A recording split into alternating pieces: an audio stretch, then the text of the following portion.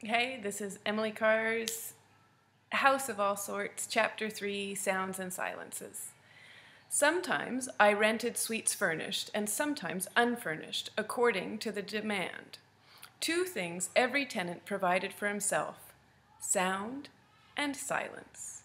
His own personality manufactured these, just as he stamped his imprint on every inch of his environment, placing his furniture just so, hoisting and lowering his window blinds, straight or crooked. Even the boards of the floor creaked differently to each tenant's tread. Walls echoed his noises individually. Each one's hush was a different quiet. Furniture is comical.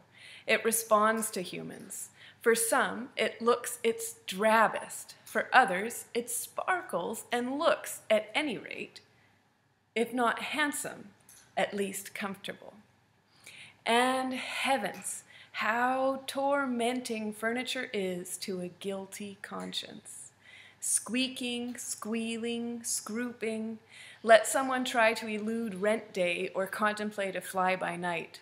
That man the furniture torments.